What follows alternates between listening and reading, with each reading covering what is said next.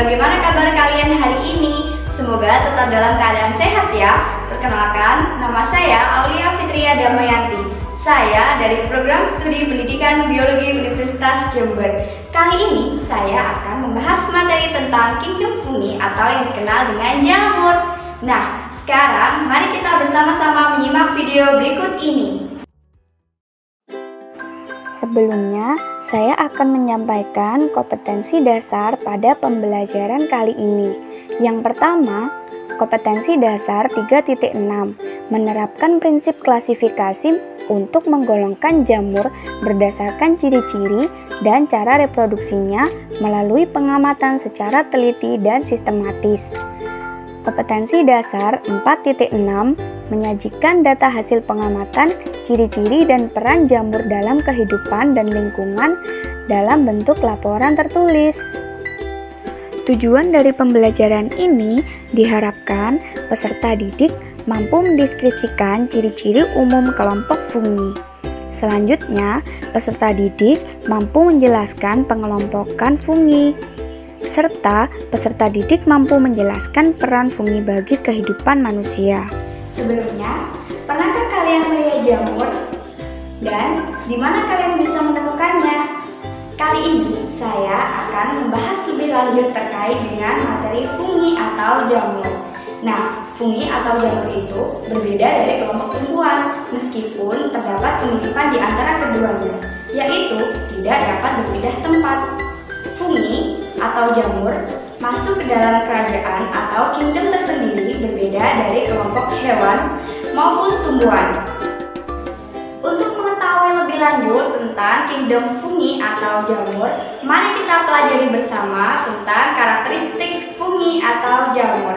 Yang pertama, fungi atau jamur termasuk ke dalam kelompok eukariotik karena pada sel penyusunnya sudah memiliki membran inti. Yang kedua, fungi atau jamur termasuk ke dalam kelompok multiseluler atau organisme bersel banyak.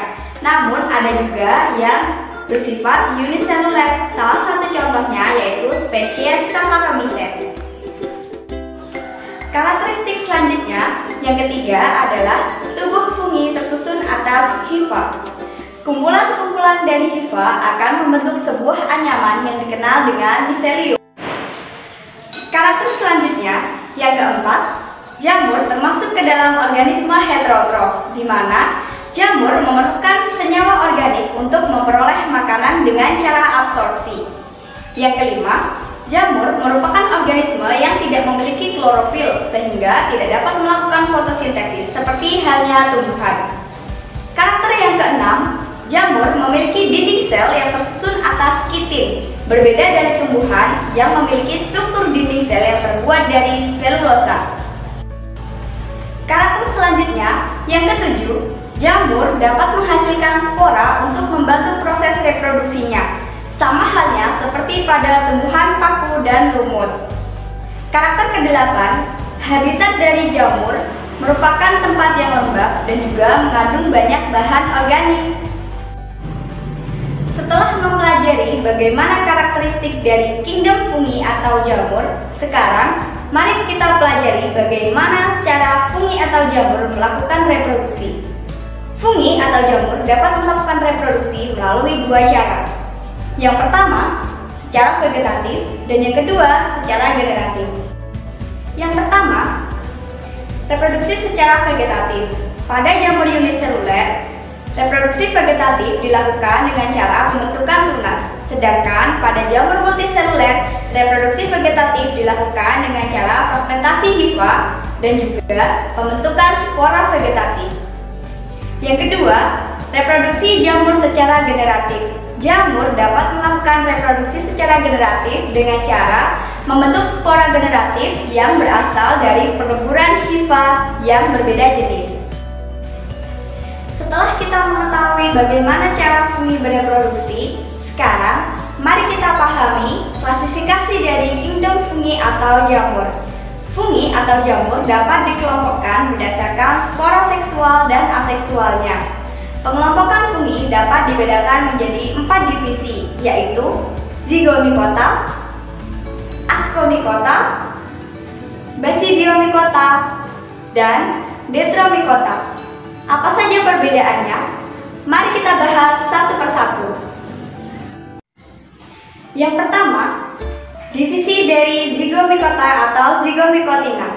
Kelompok jamur ini memiliki ciri-ciri khusus di antaranya yang pertama, jamur zygomicota tidak memiliki hifa yang bersekat atau yang dikenal dengan senositik.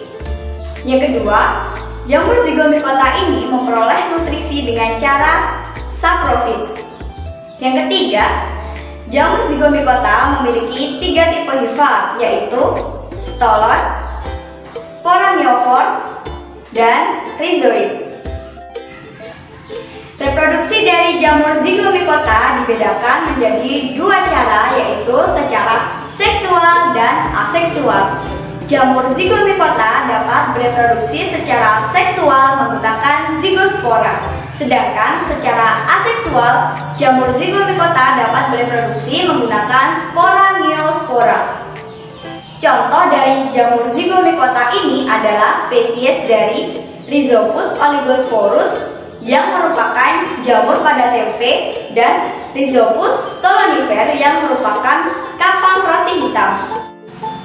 Selanjutnya, yang kedua, mari kita bahas kelompok dari divisi Ascomycotina atau Ascomycota. Jamur Ascomycota ini memiliki ciri-ciri khusus di antaranya yang pertama, jamur Ascomycota memiliki hifa yang bersekat dan juga pada setiap satu selnya hanya memiliki satu inti saja. Yang kedua, jamur ascomycota ini menyerap nutrisi dengan cara parasit, saprofit, dan beberapa di antaranya membentuk simbiosis dengan alga biru dan juga alga hijau membentuk lisens atau yang dikenal dengan rumput kerak. Karakter yang ketiga dari jamur ascomycota ini dapat melakukan reproduksi dengan dua cara, yaitu secara seksual dan aseksual. Jamur ascomycota dapat bereproduksi secara aseksual dengan membentuk conidiospora, sedangkan secara seksual dapat bereproduksi dengan membentuk ascospora. Ascospora dibentuk dalam askus. Pada satu askus dapat memproduksi banyak ascospora yang dikenal dengan spora seksual. Contoh dari jamur ascomycota ini adalah Auleria auratia dan Neurospora crassa. Selanjutnya, kelompok jamur yang ketiga merupakan jamur dari divisi Basidiomycotina atau yang dikenal dengan Basidiomycota. Jamur Basidiomycota ini memiliki ciri-ciri khusus di antaranya yang pertama, jamur Basidiomycota memiliki hifa yang bersekat dan sel-selnya bersifat haploid. Yang kedua, jamur Basidiomycota merupakan jamur yang bersifat makroskopis di mana jamur ini dapat dilihat secara langsung. Yang ketiga, Jamur Basidiomycota merupakan jamur yang memiliki tubuh buah berbentuk seperti tudung atau payung. Karakter yang keempat, jamur Basidiomycota memiliki tiga jenis miselium, yaitu miselium primer, miselium sekunder, dan miselium tersier. Jenis jamur Basidiomycota dapat melakukan reproduksi melalui dua cara, yaitu secara seksual dan juga secara aseksual. Jamur Basidiomycota bereproduksi secara aseksual dengan membentuk conidiospora, sedangkan reproduksi jamur Basidiomycota secara seksual dilakukan dengan menggunakan Basidiospora. Contoh dari jamur Basidiomycota di antaranya adalah spesies dari jamur Pulvarilla pulvacea yang merupakan jamur merang umumnya dapat dikonsumsi oleh manusia. Adapun jenis jamur Amanita muscaria yang merupakan contoh dari jamur beracun. Selanjutnya, kelompok jamur yang keempat berasal dari divisi Dictromycotina atau Detromycota. Jamur ini memiliki ciri-ciri khusus. Di antaranya, jamur Detromycota dikenal dengan jamur imperfect atau jamur tidak sempurna dikarenakan jamur jenis ini belum diketahui spora seksualnya. Ciri lainnya, kebanyakan dari jamur Detromycota ini bersifat parasit. Reproduksi jamur Detromycota hanya dapat dilakukan melalui satu cara yaitu secara aseksual. Jamur Detromycota bereproduksi secara aseksual menggunakan konidiospora. Contoh dari jamur Detromycota yaitu spesies dari Microsporum dan juga trigopiton. Kelompok jamur atau fungi memiliki peran dalam kehidupan manusia yaitu menguntungkan dan juga merugikan. Peran jamur yang menguntungkan bagi kehidupan manusia di antaranya dimanfaatkan untuk sumber makanan, dalam bidang kesehatan, bidang pertanian, dalam bidang industri, serta dimanfaatkan sebagai dekomposer atau pengurai. Selain peran menguntungkan pada kelompok fungi atau jamur, juga terdapat peran merugikan. Peran merugikan dari kelompok fungi atau jamur ini di antaranya penyebab penyakit pada manusia, yaitu contoh dari spesies Microsporum dan juga Trigopiton. Jamur ini menyebabkan penyakit palu dan kurap pada tubuh manusia. Adapun jamur yang menyebabkan penyakit pada tumbuhan serta menjadi penyebab pembusuk makanan. Sekian pembelajaran kita kali ini. Bagaimana adik-adik? Sudahkah kalian memahami tentang materi fungi atau jamur ini?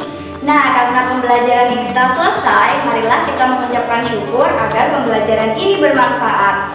Jangan lupa tetap semangat belajar dan tetap jaga kesehatan ya. Terima kasih sudah menonton video pembelajaran ini. Semoga bermanfaat. Wassalamualaikum warahmatullahi wabarakatuh.